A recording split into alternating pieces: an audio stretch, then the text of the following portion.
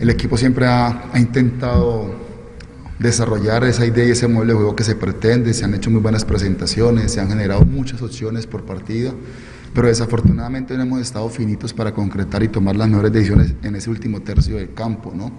Y a la postre, eh, en cualquier error o desconcentración defensiva nos cobran y nos facturan y se nos van muchas veces los tres puntos, como a lo largo del semestre ha sucedido.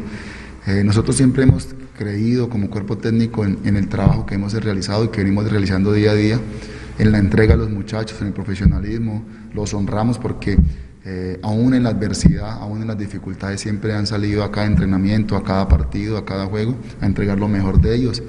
Y hoy creo que fue una clara muestra de, la determinación que tuvimos. Éramos conscientes que queríamos sumar en Medellín. Eh, obviamente pues teníamos la ilusión de sumar tres puntos, pero no se pudo y ya está, ¿no?